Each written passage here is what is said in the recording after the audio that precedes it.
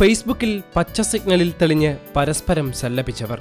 സല്ലാപങ്ങൾക്കും നേരം പോക്കുകൾക്കും അപ്പുറം സാമൂഹിക പ്രതിബദ്ധതയോടെ ചിലതെങ്കിലും ചെയ്തവർ. അവർ ഒരുമിച്ച് ചേർന്നു. പലരും നേരിൽ കണ്ടത് ആദ്യമായി. റൈറ്റ് തിങ്കേഴ്സ് അഥവാ യഥാർത്ഥ ചിന്തകർ എന്ന പേരിലുള്ള ഫേസ്ബുക്ക് കൂട്ടായ്മയിലെ അംഗങ്ങളാണ് കോഴിക്കോട് സംഗമിച്ചത്. ഫേസ്ബുക്കിൽ നൽകിയ ലൈക്കുകളും ഷെയറുകളും കമന്റുകളും നേരിൽ കണ്ട് അനുഭവം പങ്കിട്ട സുഹൃത്തുക്കൾക്ക് നൽകാൻ അവർ മറന്നില്ല.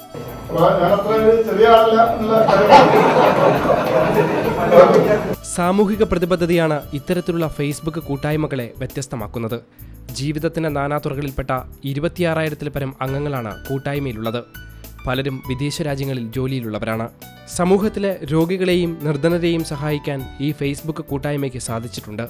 പതിമൂന്ന് പേരടങ്ങുന്ന അഡ്മിനിയിലെ അംഗങ്ങളാണ് പരിപാടികളും പദ്ധതികളും ക്രോഡീകരിക്കുന്നത്. കുറേ നാളായിട്ടുള്ള ആഗ്രഹമായിരുന്നു ഇങ്ങനെ വിപുലമായ ഒരു ഗെറ്റ് ടുഗദർ ഒക്കെ പരസ്പരം പരിചയപ്പെടാന്നുള്ളത്. അങ്ങനെ ഒരു മാസം മുമ്പ് ഇതിനൊരു പോസ്റ്റ് ഇട്ടപ്പം വളരെ സജീവമായിട്ട് അംഗങ്ങളെല്ലാം പ്രതികരിച്ചു. അങ്ങനെയായിരുന്നു ഇവിടെ അറേഞ്ച് ചെയ്തത്. റൈറ്റ് തിങ്കേഴ്സിന് വി ആർ വിത്ത് യു എന്ന് പറഞ്ഞിട്ട് ചാരിറ്റിക്കായിട്ട് പ്രത്യേക ഒരു ഗ്രൂപ്പ് ഉണ്ട് അതിലൂടെയാണ് ഇത്തരം ജീവകാരുണ്യ പ്രവർത്തനങ്ങളൊക്കെ നടന്നു പോകുന്നത്.